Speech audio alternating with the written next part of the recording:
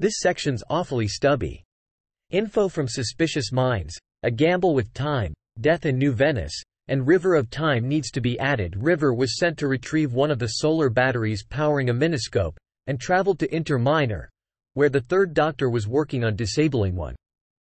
She miniaturized and went into the miniscope, only to find out that the doctor neglected to look at the bin of the miniscope, inadvertently leaving other species contained in the machine to die when it would go out of order.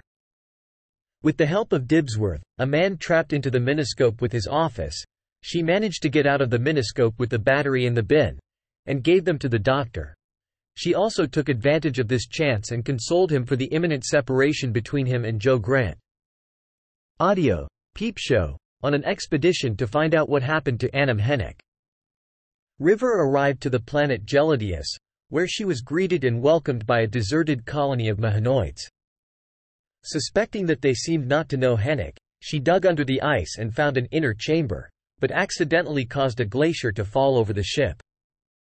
Now stranded, she sent a distress message, which space security agents Anya Kingdom and Mark Seven picked up a month later.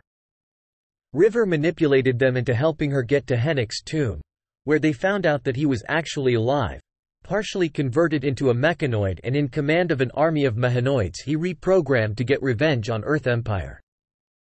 River and the agents worked together to stop him, and were eventually able to trap him in the ice, event though River had to give up her plan to retrieve Hennick and give him up to the authorities.